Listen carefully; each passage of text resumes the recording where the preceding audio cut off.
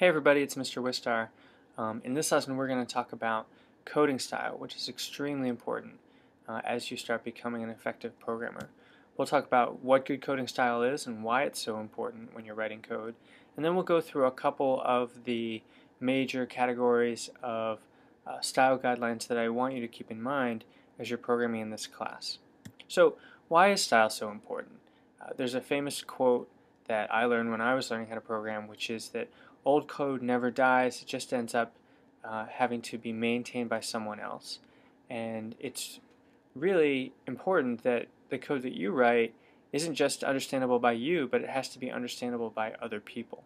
But there's more reasons to have good coding style than just thinking about how other people are going to look at your code. It actually helps you when you're writing your programs a lot of the coding guidelines that we're going to talk about are actually sort of designed in defensive programming, meaning tips that you can use to make it less likely that you'll make mistakes. And uh, if you write readable code, it'll actually save you time. I know that sometimes coding style seems a little tedious, but believe it or not, you're actually saving yourself time on the back end. If you can read your code quickly, you don't have to waste time trying to figure out how it works.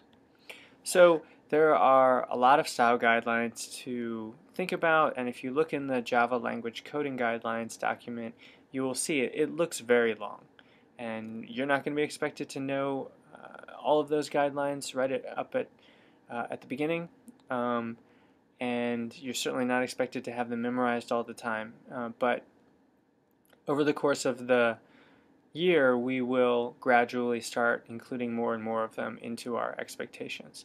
And so looking at that huge document, I've tried to boil it down into a couple of major categories, which I've put into this acronym WINK.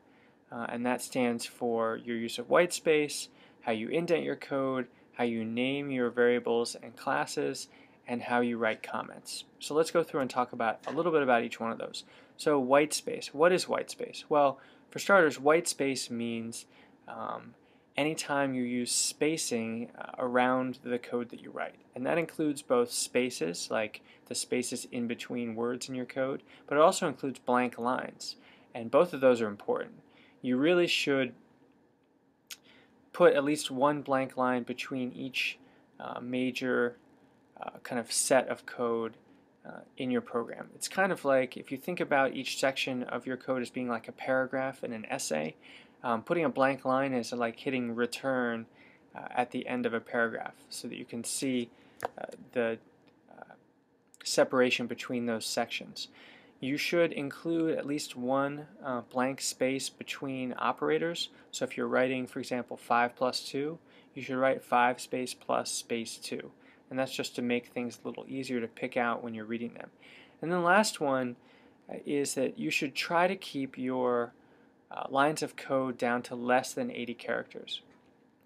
And we'll see in a minute how to find out how long your uh, lines are in JGrasp. But the reason why you want to do that is you never want to have to horizontally scroll to read a line of code. And you don't want to make anybody else do that either.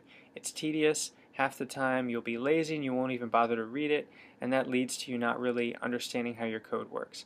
And the nice thing about a language like Java is Java doesn't care about spacing. You can take a line of code, uh, a statement in Java, and you can spread it out over 10 different lines. Um, so the important thing is to break up your statements so that they don't take up too much horizontal space. Okay, let's talk about indentation. Indentation is, well, it's incredibly important. I've gotten to myself to the point now where I just can't even read code that's not indented properly. So if you ever ask me to look at your code in class, the first thing I'll probably do is re-indent it if it's not indented because I just that's not how my brain that's how my brain works. And the simple rule of thumb with indentation is uh, if you have a set of code inside a set of curly braces, it all has to be indented exactly the same amount. And every time you have a new set of curly braces, you indent one more tab. So the first set of code in your program inside of your class is indented one tab stop, and then when you start writing a method, uh, which we'll talk more about later in the class, uh, that code gets indented another uh, tab. So it, it should all line up vertically. And that's really important because it helps you instantly tell visually which code is part of the same block. Uh, other important guidelines when it comes to indentation is that when you have pairs of curly braces, they need to line up vertically. Okay, there are some people who say that it's okay to have the open curly brace um, on the same line where you write the statement that it belongs to, but I really don't think that's a good idea, and a lot of other programmers don't, because then the open curly brace is over here, and the closing curly brace is down here, and they don't line up anymore. And the reason why lining those up is so important is that sooner or later you're going to forget your closing curly brace or your open curly brace. And the easiest way to spot that is if they line up vertically, because you can just scan up and down and see what's missing. So it's really important that your curly braces line up. And it's also really important that you use curly braces. There are some um, statements, like loops and conditional statements, where technically speaking you don't have to use curly braces for the code that's inside them. But you should. Okay, uh, when we get to talk more about those, I'll reinforce this, but you should always use curly braces because uh, if you forget to use them and then you include like four statements inside of your loop, then only the first statement actually gets put in your loop. The rest of them are just kind of hanging out there in space. And you have an error and you don't realize it. So this is an example of what we were talking about when we say defensive programming. Just put, even if it's a one-line loop, put that one line inside curly braces because you never know when later on it's going to become a two-line loop or a three-line loop. So that's just good practice. Um, let's talk about naming. So this has to do with how you name your classes, how you name your variables. And there are some actual syntax rules for how you name things, which we're not going to get into right now. We'll get into that when we talk about uh, creating variables. But uh, I want to talk to you about how to use good names. Um, because believe it or not, you should actually think carefully about the names that you choose for your variables. Uh, we've gotten to a point now where you can use long variable names, and you should. Uh, your variable names and your class names and your method names need to be descriptive. You should never have a variable called, you know, i5. Uh, if you if you ever have to write a comment explaining what the name of a variable means, it means you picked a bad variable name. Uh, if you ever point out a variable to someone and they say, what is that? You picked a bad variable name. So try to pick a variable name that describes what it is that it does. Uh, I've read somewhere that sort of the sweet spot for variable names is like anywhere from maybe 6 to 15 characters. Um, not so many that it's tedious for you to type, but not so few that you need a decoder ring to figure out what it means. A couple of other guidelines, and these are pretty important too because they establish expectations in the minds of your readers, are that you should always capitalize the name of a class, and you should lowercase the names of your methods and your variables. And that way you can very quickly take a look at something and see whether it's a class or whether it's not. And last thing is if you have constant variables, which we'll talk about later in the class, but that's just a, that's a variable whose value never changes, you should put those in uppercase. And those should be the only kinds of variables that you ever put in uppercase. That way, again, just by looking at a variable name, you can uh, tell what kind of variable it is. Again, these style guidelines are designed to save you time as a programmer, and that's one example of that. Okay, last one. The C stands for comments, and it's so important that um, we're actually going to give it double points in our style grading because comments explain your code to the people that are reading it. They don't actually affect how your program runs, but they're so, so important for you and also for the people who read your code. So we'll take a look um, as we go along and start adding more tools to our toolbox. You'll see um, other, we'll implement this uh, section in stages. But to start off with, every program you write has to have a comment block up at the top that has a one-line description of what the program is, and then your name uh, after an at author tag, and then the date that you created the program after an at version tag. And you'll see an example of this in a minute. Every program has to have your name on it um, so that you can get credit for it, so that you can get blamed for it if it's broken, um, and just so that you can establish ownership over the code that you write. That is critical. Um, Every class that you write gets a little comment up at the top of it just explaining what its purpose is. And that's different maybe from the file comment because you might have classes, you might have more than one class in your program. You need to explain, or in, a, in your file, you need to explain what each class is designed to do.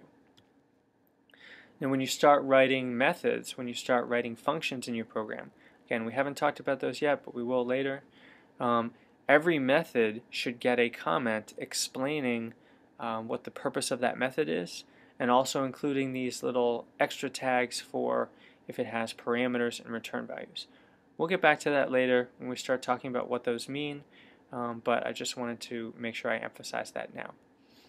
If you have variables in your classes, they need to have a one-line comment explaining their purpose too.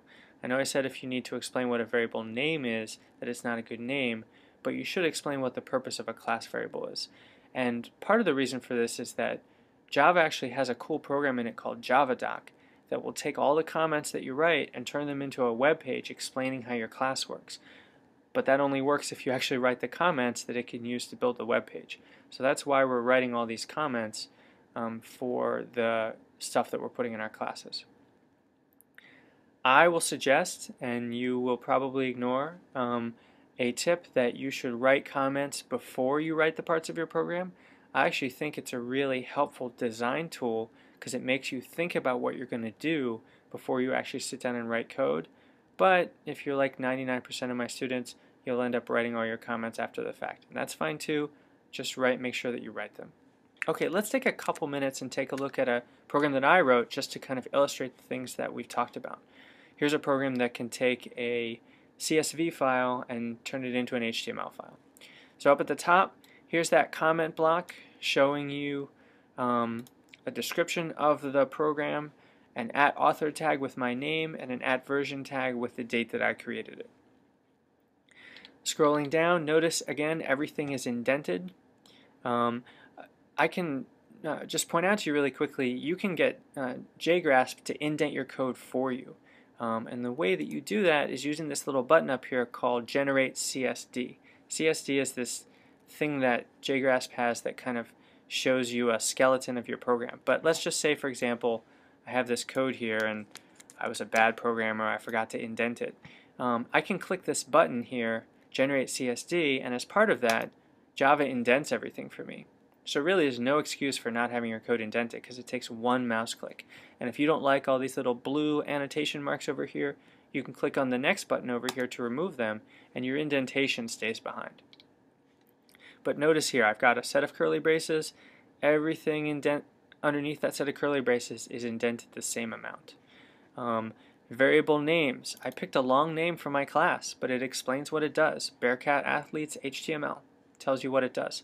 Here are some constant variables. Their names are in all caps. Um, down here is a method that I wrote, and I've got a comment for my method. And I have a new set of curly braces, and because of that, the code that's inside my method has to be indented again. So it's indented twice. So that's, uh, I mean, in a nutshell, I guess we should maybe talk about white space too.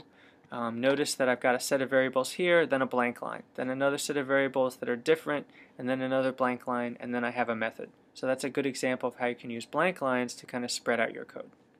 So style is uh, something that is unique to each person. I'm not trying to uh, tell you that you can't make your own choices about how you write your code, but the important thing about style is that you develop a consistent style and that you can generate expectations from someone who actually reads your code. So we're going to use these uh, set of style guidelines to help you start to develop some habits about the way that you write your code. Uh, we talked about four major areas of style, use of white space, indentation, variable naming, and comments. All right, you're all set.